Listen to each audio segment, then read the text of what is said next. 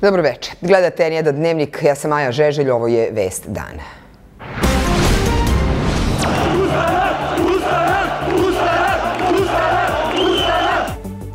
Osamnaest godina od pada režima Slobodana Miloševića. Za današnje vlasti 5. oktobar je pljačka, dok opozicija odvojenim skupovima obeležava godišnjicu. I od ostalih događaja izdvajamo. Najintenzivniju pretnju po ustavni poredak i bezbednost naše zemlje. Na prvom mestu se može izdvojiti prikriveno delovanje spoljnog faktora. Ovako predstavnik Bezbednostno-informativne agencije analizira bezbednostne pretnje za zemlju. Kao rizik navodi opoziciju, deo medija, društvene mreže, nevladin sektor i sindikate. Porodice i advokati ubijenih gardista u kasarni na Topčideru najavljuju tužbu protiv države u Strasburu. Ništa nismo saznali, ništa stoji u mesto. Nestao prvi čovek Interpola, Meng Hongwei. Francuska pokrenula istragu. Nobelovu nagradu za mir ove godine dele borci za prekid upotrebe seksualnog nasilja kao oružija u ratu Denis Mukwege i Nađa Murad. U dnevniku pogledajte njihove priče. Za vikend sunčano i toplo temperatura do 25 stepeni. Prošlo je 18 godina od demokratskih promena u Srbiji. 5. oktobra građani su se okupili ispred Narodne skupštine jer tadašnji režim na čelu sa Slobodanom Miloševićem nije želeo da prizne izborne rezultate i ode sa vlasti. Danas vlast 5. oktobarsku revoluciju u Srbiji kvalifikuje kao pljačku. Za poklon na punoletstvo 5. oktobar dobio je ono protiv čega se borio. Vlast, čiji je prvi čovek Aleksandar Vučić nedavno poručio da je Milošević veliki srpski lider, ali su rezultati izostali. Bilo je dobrih stvari, to je da Srbija više nije bila izolovana, da se otvorila prema svetu, bilo je loših, da su najgori pljačkaši zauzimali kao svoj plen sve što je u Srbiji vredelo, razorili i uništavali. Socijalisti koji su na vlasti i 18 godina posle imaju negativne emocije, kako kažu, prema 5. oktobru. 5. oktober je samo dan koji je doneo čitav niz neispunjenih obećanja. Oni koji su učestvovali u dosovoj vlasti, a u vlasti su i sada, kao što je ministar financija Siniša Mali, nisu želeli da se prisećaju tog trenutka kada je pola miliona ljudi bilo ispred Skupštine Srbije. U Beogradu je bilo pola miliona ljudi. I e, e, e, to je bila većinska Srbija, ili ona dobila izbore. Vi sad u stvari zovete lopovima većinsku Srbiju. Znači, zovete sve te ljude lope. Takav epitet građani su dobili od predsjednice parlamenta Maje Gojković, koja je u Skupštini organizovala izložbu Umetnost koja čeka pravdu 5. oktobar 2000. tri tačke. Prilikom paljenja zgrade Narodne skupštine naneta je nesaglediva šteta jer je značajan deo našeg kulturnog nasledđa nestao i do danas nije vraćen. Vraćeno je, međutim, nešto drugo, kažu sagovornici N1. Vrednosti Miloševićeve Srbije su i dalje na vlasti. Sve je puno mimikrije, ali to su praktično potpuno isti ljudi. To dosta frustrira sve nas koji smo verovali u te promene. To frustrira ljude da ponovo krenu napred, da krenu u neke nove proteste i da se izbore za ideale koji 5. oktobra nisu ostvareni. Mnogo je takvih ideala, a jedan od njih verovatno nikada neće dobiti mesto na skupštinskoj izložbi. Niko nije dovek na vlasti. Neće ni ovi biti, ni sledeći koji dođu neće biti. Žaklina Tatalović, N1 Beograd. Građanski blok 381 koji predvodi pokret slobodnih građana danas je počeo sa prikupljanjem potpisa za smenu predsjednika Aleksandra Vučića zbog, kako su naveli, kršenja Ustava. Akcija je počela ispred predsjedništva Srbije, okupljeni su se potom uputili u protestnu šetnju. Sve to prati i naša Jelena Zorić. Jelena, kakve su poruke organizatora i kakva je atmosfera na protestu? Pristalice građanskog bloka 381 i dalje prikupljaju potpise ispred e, Doma Narodne skupštine. E, oni su pre toga počeli ispred predsjedništva sa sakupljanjem potpisa na 18. peto, petoktobarske revolucije, odnosno na dan kada je sa vlasti pao ondašnji predsjednik Srbije Slobodan Milošević. Oni danas sakupljaju, su počeli sa sakupljanjem potpisa za smenu sadašnjeg predsjednika Srbije Aleksandra Vučića. Najpre su se okupili ispred predsjedništva po 17. put, kao i svakog petka u pet, gde su zaboli table sa pitanjima upućenim Aleksandru Vučiću, a potom su e, postavili štandove za prikupljanje potpisa za njegovu smenu. Protest je protekao u tenzičnoj atmosferi kao i prethodnih nedelja. Naime, incidenata nije bilo, ali jeste bilo provokacija zato što se istovremeno održavao još jedan skup sa druge strane policijskog kordona koji je predvodio Sima Spasić sa uh, ultradesničarskim pokretom jednim zajedno i oni su upućivali provokacije najpre pristalicama građanskog bloka 381, onda su i ovi uzvraćali, to je sve potrajalo jedno sat vremena i više nego ikada policije bilo je u parku ispred predsjedništva koja je sprečila uh, incidente. Pristalice građanskog bloka 381 potom su došli ispred Narodne skupštine gde su uputili poruke da je Srbiji potreban novi 5. oktobar, ali da na njemu ne može da se završi posao, već je potrebno nešto raditi i posle 5. oktobra i kako su rekli, političari od naroda traže novu šansu da od Srbije naprave, kako oni kažu, normalnu državu. Potom su bili u protestnoj šetnji, a prisutnima su se obratili predstavnici zelenih koji čine građanski blok 381 i e, predsednik e, pokreta slobodnih građana Saša Janković. Ovaj put pre ili kasnije ponovo će se desiti narod.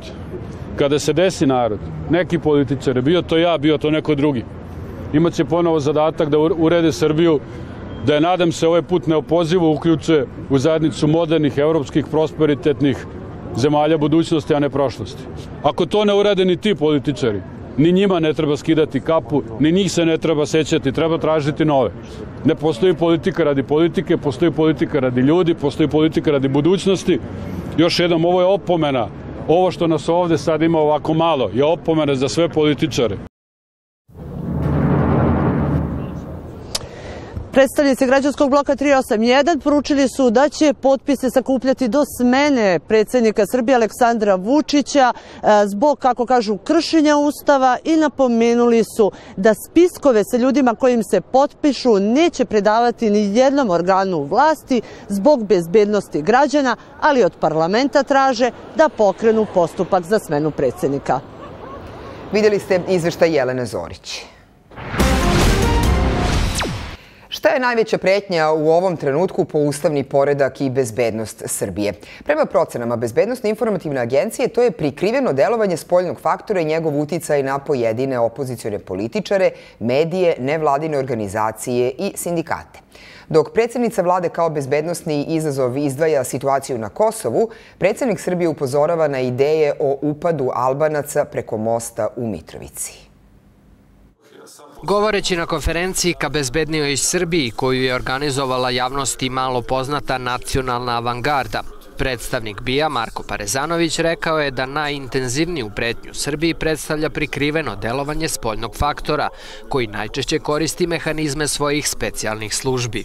Na taj način vrše se određene zloupotrebe i stavljaju se u funkciju pojedinci, naglašavam pojedinci, iz redova opozicijonih političkih partija, pojedini delovi medija, posebno destruktivnu ulogu imaju e, određene pojave, negativne pojave na društvenim mrežama. Takođe, nije redka pojava da se pojedini delovi NVO sektora stavljaju u neku, da kažem, destruktivnu i subverzivnu funkciju.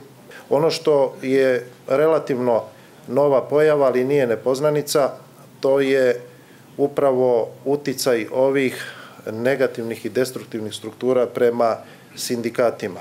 Predsednica vlade Ana Brnabić međutim navodi da su pred Srbijom četiri osnovna izazova. Migracije, terorizam, visokotehnološki kriminal i situacija na Kosovu. Situacija koju mi imamo, taj zamrznut konflikt je, je uvek jedan značajan potencijalni izvor velike, velike sigurnosne pretnje po, po naše građane. Svidelo mi se kako je predsjednik rekao, mislim da su prištinske, prištinske vlasti se ponašaju kao grogi bokser koji ne znate tačno šta, šta može da se desi, tako da imamo i sve više provokacija. Zbog poslednje, kako je srpski zvaničnici zovu provokacije, kada je Hašim Tači u subotu obišao jezero Gazivode, u Srbiji je podignuta borbena gotovost vojske.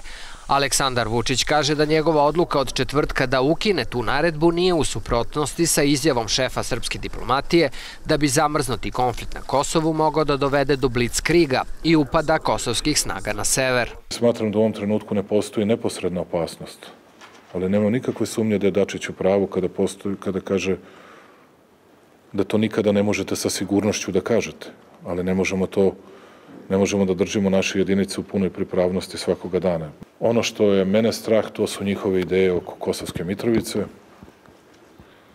jer već imamo u obaveštenom prikupljanju naznaka da bi neki pokušali da provale preko mosta u Mitrovici i na to ukazujemo međunarodnoj zajednici i tražit ćemo da se to ne dogodi.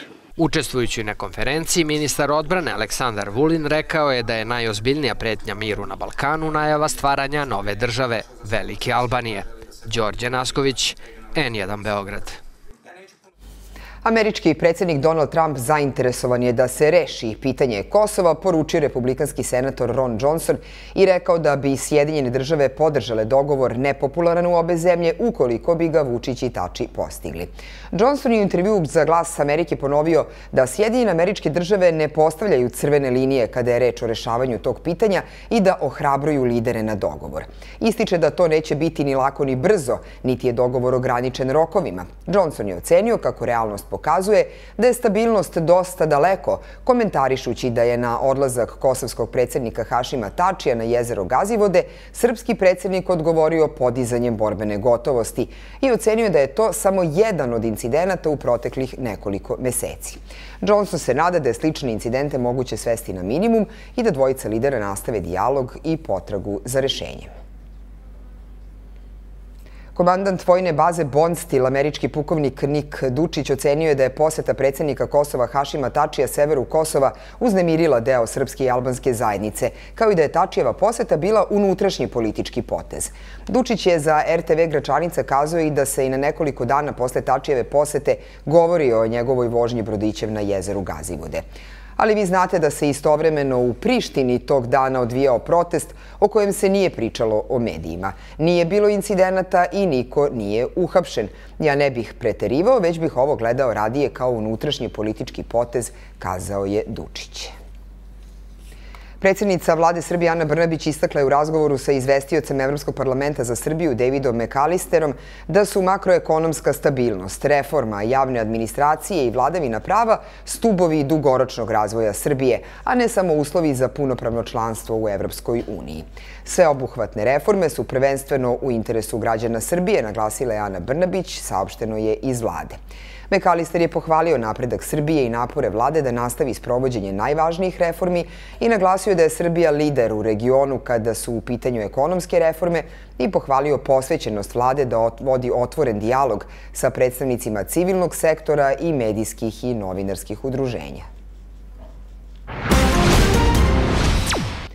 Tačno je 14 godina od kada su gardisti Dragan Jakovljević i Dražen Milovanović poginuli u vojnom objektu Karaš u Topčideru u Beogradu gde su bili na straži. Porodice ubijenih gardista okupili su se ispred kasarne gde su zapalile sveće i položile cveće. Obeležavanju godišnjice nije prisustvovao niko od državnih zvaničnika i niko iz Vojske Srbije. Ko je odgovoran za smrt gardista u ovoj prestoničkoj kasarni? 14. godinu isto pitanje postavljaju porodice stradalih vojnika. Zameram našem predsjedniku što je sve u njegovoj moći i on je trebao dosta da uradi oko slučaja Topčider. Ali ništa ne preduzima, ništa se ne radi.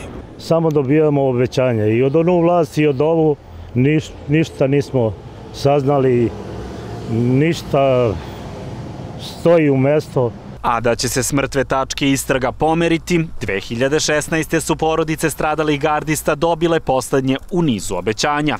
Tada predsednik vlade, sada predsednik države, dao je reč da će pomoći da se razrešenje slučaja ubrza. Aleksandar Vučić je najavio i posebnu vladinu komisiju koja će utvrditi okolnosti tragičnog događaja. Ono što je jedino urađeno jeste da je doneta odluka kojom se formira ta komisija. I ništa nakon toga nije urađeno, dakle ne znaju se ko su članovi te komisije, ne zna se šta je konkretno zadatak te komisije, šta su njene nadležnosti. Ta pitanja N1 poslao je kabinetu predsednice vlade, međutim do emitovanja priloga odgovor nije stigao. Osim vlade, na slučaju Topčider ne radi previše ni pravosuđe. Naime, Ustavni sud je 2013. konstatovao da je porodicama povređeno pravo na pravično suđenje. Taj organ je, podsjećaju advokati, naložio tužilaštvu da sprovede efikasnu istragu. Danas, pet godina posle te presude, Mi smo u situaciji da ta presuda nije ispoštovana, da je ustavna institucija i Ustavnog suda faktički od strane tužilaštva e, pogažena, njene odluke se ne poštuju i mi ćemo pokušati da zasnujemo nadležnost pred Evropskim sudom za ljudska prava u Strasburu. Već nekoliko meseci radimo na pripremi prestavke, faktički tužbi protiv države Srbije pred Strasburom. Inače, posle pucnjave, ovde u kasarni 5. oktobra 2004. vojska je tvrdila da je reč o ubistvu i samoubistvu, da bi kasnije državna komisija utvrdila da je gardiste ubio neko treći, što je potom potvrdio i FBI. Adam Santovac, N1, Beograd. Gledajte dnevnik u nastavku pogledajte. Obeležen 20. rođendan Kikinskih. Ovako smo, samo nas drži taj neki inat da mi podržimo to i ta podrška ljudi oko nas koji su eto na naš poziv da nam pomognu reagovali. Novi protesti u Bosni i Hercegovini. Hiljade ljudi okupile su se na trgovima u Banja Luci i Sarajevu, zahtevajući pravdu i otkrivanje istine u ubistvu mladića Davida Dragičevića i Dženana Menmića. U Banja Luci je i reporterka N1 Snežana Mitrović. Snežana, kakve su poruke sa današnjeg protesta? Kojom je njegov otac Davor... Današnji protest počeo je sa zakašnjenjem s obzirom da članovi grupe Pravda za Davida su utvrdili da policija obstruiše ovaj skup, da drži e, nekoliko dakle, autobusa i ljude e, koji su željeli da dođu u Banja Luku da podrže borbu porodice e, koja već šest mjeseci, skoro 200 dana protestuje ovde na trgu Krajine, tražeći istinu o smrti 21-godišnjeg banjalučkog studenta Davida Dragičevića. Moram da kažem da večeras na trgu Krajine ima više, sto, više hiljada e, ljudi, građani uzvikuju ubice, ubice, organizatori pozivaju na mirno i dostojanstveno protestovanje, e, s druge strane pozivaju i MUP da e, zapravo puste sve one koji su željeli da dođu ovdje na trg Krajine i podrže borbu Davora Dragičevića. Davor Dragičević sam ranije je optužio dio Ministarstva unutrašnjih poslova za stradanje svoga sina, no još uvijek se slučaj vodi u tužilaštvu i on nije istražen do kraja. E, inače, u Banja Luci danas pojačano prisustvo policije, što zbog e, najavljenih e, skupova, dakle stranački, posebno onog SNSD-a koji se održava nešto više od jednog kilometra. S druge strane, ovaj skup Pravda za Davida nije najavljen policiji i na njemu se nalazi više hiljada građana, procenjuje se preko 10 hiljada građana na ovom skupu.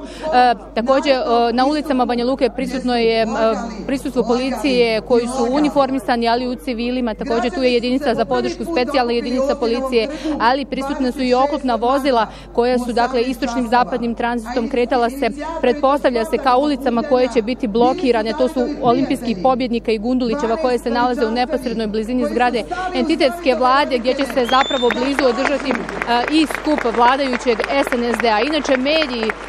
koji su bliski vladajućoj, vladajućoj političkoj stranci, ovaj skup pravda za Davida da nazvali su antivladinim protestom. Ovde se zaista nalaze neki opozicioni predstavnici, no ovdje nema nikakvih obilježja ni stranačkih, ni nacionalnih, ni vjerskih. S druge strane, dakle, pojavile su se mnoge informacije o tome da ovdje dolaze navijačke grupe iz Federacije Bosne i Hercegovine. To se za sada nije desilo. Mi dakle nismo uočili takve grupe, a iz pravde za Davida, apelovali su da se oni ne pojavljuju, poručili su navijačima, niste nam dobrodošli, navijaćemo svi mi zajedno sami za istinu i pravdu, kao što to činimo, kazali su iz grupe Pravda za Davida već 194 dana na upravo ovom je trgu, trgu krajine koji grupa naziva Davidov trg. Snežana Mitrović javila se iz Banja Luke. Opšti izbori u Bosni i Hercegovini koji se održavaju u nedelju donose novi izazovi to bez presedana, još od okončanja rata.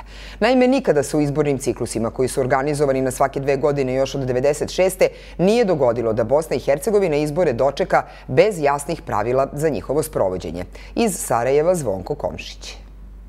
Osmi opći izbori u Bosni i Hercegovini biće održani u nedjelju 7. listopada kada će građani Bosne i Hercegovine birati zakonodavnu izvršnu vlast, odnosno dužnosnike koji će voditi ovu zemlju u naredne četiri godine. Biraće se članovi predsjedništva Bosne i Hercegovine, zatim novi sazivi Parlamentarne skupštine Bosne i Hercegovine, Parlament Federacije Bosne i Hercegovine, zastupnici Narodne skupštine Republike Srpske, predsjednik i podpredsjednici BH entiteta Republika Srpska, te zastupnici deset kantonalnih skupština u Federaciji Bosne i Hercegovine.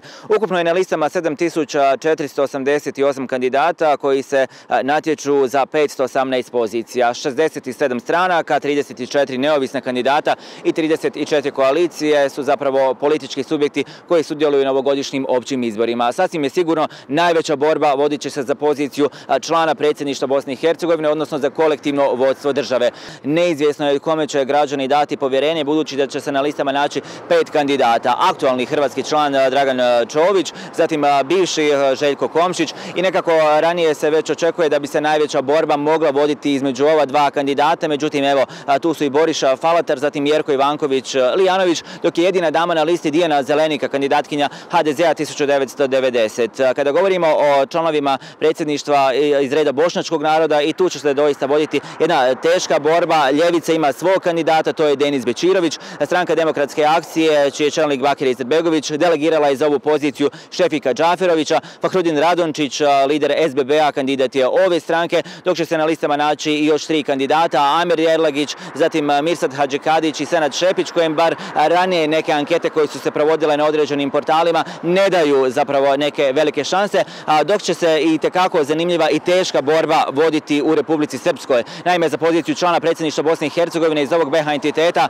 kandidirali su se aktualni predsjednik RS-a Milorad Dodik te aktualni član predsjedništva Bosne i Hercegovine iz RS-a Mladen Ivanić. Tu su još dva kandidata, međutim njima se ne daju velike šanse. Podsjetit ću recimo prije četiri godine svega za stotinu glasova pobjedio je Mladen Ivanić, tada kandidatkinju SNSD-a Željku Civijanović i doista neizvjesno je tko bi mogao biti novi član kolektivnog vodstva države Bosne i Hercegovine. Prvi preliminarni rezultati u Bosni i Hercegovini bit će poznati točno u ponoć 7. listopada. Inače, sutra ujutro u 7 sati na snagu stupa izborna šutnja. Danas je održana i preskonferencija Središnjeg izbornog povjerenstva BiH.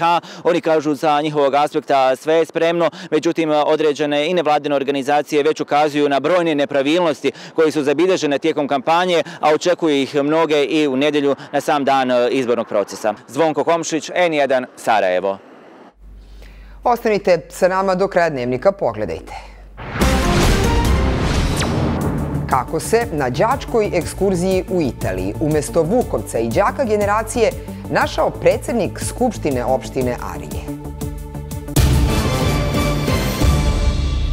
Osim punoletstva peto-oktobarskih promjena, u Kikindi danas obeležavaju i 20. godišnicu lokalnih novina Kikinske.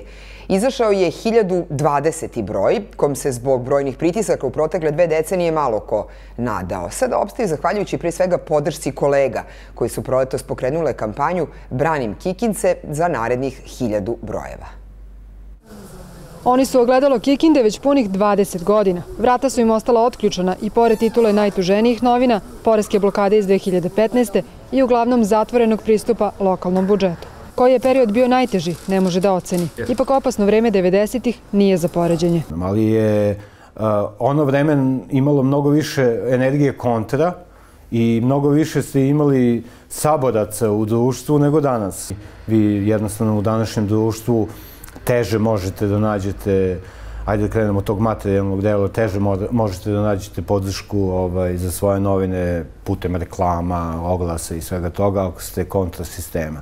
Danas su dodaje pritisci perfidniji, ali je rezultat isti. Razlika je samo u neuporedivo manjem broju tužbi. U nekom trenutku smo se rešili, prevoshodno ja koji tu vodim priču, da sa hiljaditim brojem završimo našu misiju. Ovako smo samo nas drži taj neki inat da mi održimo to i ta podrška ljudi oko nas koji su eto na naš poziv da nam pomognu reagovali. Dajte mi ove... Kikinske, tu sa vaše desne, odnosno, da, desne Važna podrška ostali su čitaoci, iako sa tiražom od oko hiljadu primjeraka, novine teško mogu opstati. Pa mi si jedan od nezavisnijih listova, znam. Pa daju sve informacije vezane sa Kikindu kako treba. Sloboda koju je imao urednik ovih novina, mislim na Bodržića, je sloboda, u pravom smislu on je mogo da kaže i šta je smeo i šta nije smeo. Imao je petlju. Petlja im nije mnogo pomogla. Zato su Novi optimizam i Grupa za slobodu medija pokrenuli kampanju prikupljanja novca za narednih hiljadu brojeva, a 5. oktober rešili da obelaže baš u Kikindi. Mislimo da je jako važna ta solidarnost. Mi kažemo nova solidarnost i uskoro ćemo uspostaviti tako jednu poruku i priču. je neophodna za, za ovo vreme. Jednostavno, moraju se pojedinci koji su prognani, a ostali slobodni, na neki način okupiti. A okupljaju se, kaže, oko ideala i vrednosti od kojih se Kikinske već dve decenije nisu udaljile. Nataša Kovačev, N1, Kikinda. Umesto Vukovca i đaka generacije gimnazije Sveti Ahilije u Arilju na matursku ekskurziju u Italiju otišao je predsednik Skupštine opštine Dragiša Terzić sa suprugom. Ta vest izazvala je bes stanovnika Arilja, izveštava Vesna Đurović. Meštani Arilja su neverici i pitaju se koji je razlog da političar ide sa đacima na ekskurziju, dok najbolji među njima, kojima je ona namenjena, sede kući jer verovatno nemaju novca. U ovoj državi se ne vodi računa onima kojima treba da se vodi računa. Znači, ne, ne stavljam paralelu između Dragiše, tom, tom detetu je morao se nađe način da ode. To nije u redu. To Dragiša je mogo da ide o svom trošku, a ne tako. Katastrofa baš katastrofa, da deca koja su odlični učenici nisu mogli da odu, a on sa ženom odišao. Strašno. Predsednik Karinske skupštine Dragiša Terzić, inače član Srpske narodne partije, u izjavi za N1 iz Italije, poručuje da je na ekskurziju pošao na insistiranje direktora gimnazije kako bi se ona uopšte realizovala, jer je bio prijavljen nedovoljan broj đaka. Ja vam odgovorno tvrdim znači da odlazak na ekskurziju sa našim đacima iz škole Sveti Ahilije, znači ja i moja supruga lično plaćamo i ne bih ni krenuo na tu ekskurziju da direktor Ranko Davidović me nije pozvao da idem i nije mi čovjek ništa ni rekao da tu ima nešto sporno i da bi moglo da bude nešto sporno, pravo da vam kažem, tako da što se mene lično tiče, znači ja stvarno ne vidim u čemu sam tu pogrešio. Direktor gimnazije Ranko Davidović takođe je otputovao sa đacima na sedmodnevnu ekskurziju u Italiju.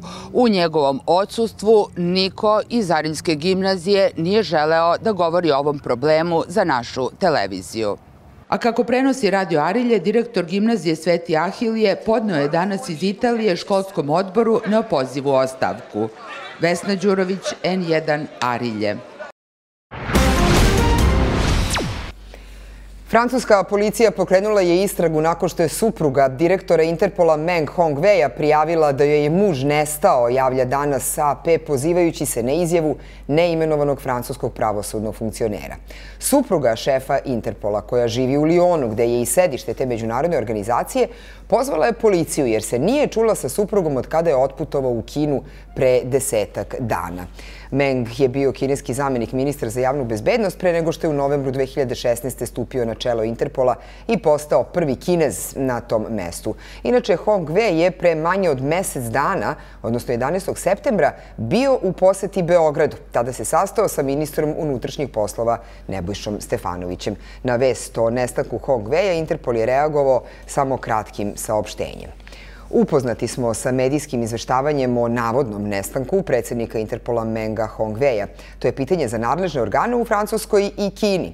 Generalni sekretarijat Interpola neće davati dalje izjave, stoji u saopštenju. Ginekolog iz Konga i 25-godišnjakinja iz Iraka, borci protiv seksualnog nasilja, ovogodišnji su dobitnici Nobelove nagrade za mir. Denis Mukwege i Nađa Murad priznanje su dobili za napore za okončanje upotrebe seksualnog nasilja kao oružija u ratu. Pogledajte ko su ljudi kojima su za petama ostali favoriti za laureate poput Donalda Trumpa i Kim Jong-una, odnosno Zorana Zajeva i Aleksisa Ciprasa. Od žrtve silovanja do prestižnog priznanja Nađa Murad prešla je dug put. Imala je 21 godinu kada su i sela na severu Iraka oteli džihadisti takozvane islamske države. Tri meseca u zatočeništvu je silovana i mučena.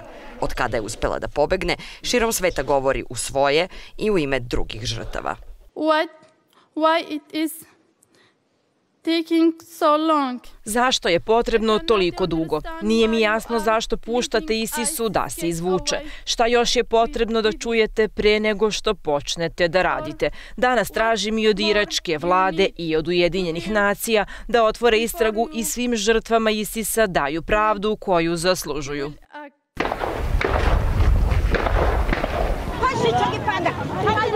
Mukwege, 63-godišnji ginekolog, proveo je veći deo odraslog života pomažući žrtvama silovanja i ekstremnog seksualnog nasilja raznih zaraćenih grupa u Demokratskoj republici Kongu. U svojoj bolnici lečio je oko 30.000 žrtava koje su preživele nezamisliva sakaćenja i torture. Epidemija silovanja u Kongu započela je u 90. godinama prošlog veka i traje do danas, pogotovo u istočnom delu koji se još nosi sa posledicama kongoanskih ratova.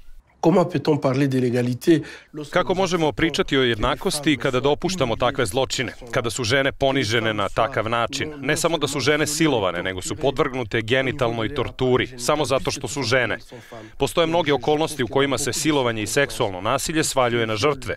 Žena se mora opravdavati. Ja vas pitam zašto se mora opravdavati kada je ona žrtva i kada je na njoj teret da dokazuje da je žrtva. To nije jednakost. Pourquoi elle doit se justifier lorsque c'est elle qui est victime et c'est elle qui doit justifier Nagrada je namenjena širenju svesti da je ženama u ratu potrebna posebna pomoć i da počinitelji seksualnog nasilja moraju biti kažnjeni. Muradi Mukwege će priznanje dobiti 10. decembra u Oslu na svečanoj dodeli. Kuriozitet je da ove godine po prvi put za skoro 70 godina neće biti dodeljen Nobel za književnost, ironično, zbog skandala o silovanju koji potresa Švedsku akademiju. Ksenija Pavkov, N1. Večeras od 9 na N1 televiziji počinje druga sezona emisije Pljiž autora Dragoljuba Mićka Ljubičića, Vojislava Žanetića i Dragoljuba Draže Petrovića. Deco moja, priđimo da obavimo pljižastvujući pomen petomu oktobru. Ti koji si medije od jednoumlenija oslobodio, pa se jednoumlenije još snažnije povratilo u svijatom utrojstvu realitija, konferencija za štampu i tabloida grešnih, povampiri se ili upokoji se, Medije pomiluj, medije pomiluj, medije pomiluj.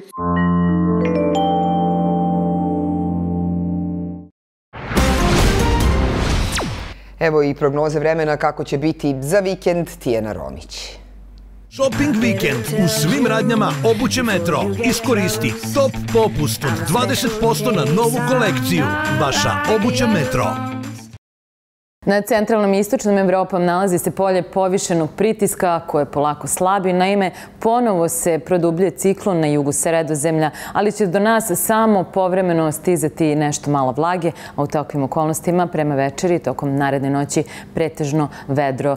Umerena oblačnost postepeno će zahvatati zapadne predele Srbije, ali zadržat će se suvo.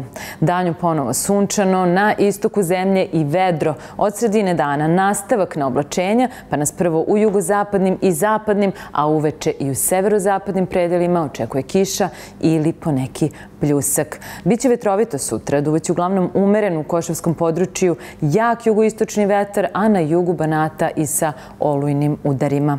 Najneđa temperatura tokom naredne noći više nego prethodne. Na severu oko 10-11, na jugu između 7 i 10, u glavnom gradu nešto više od toga od 12 stepeni.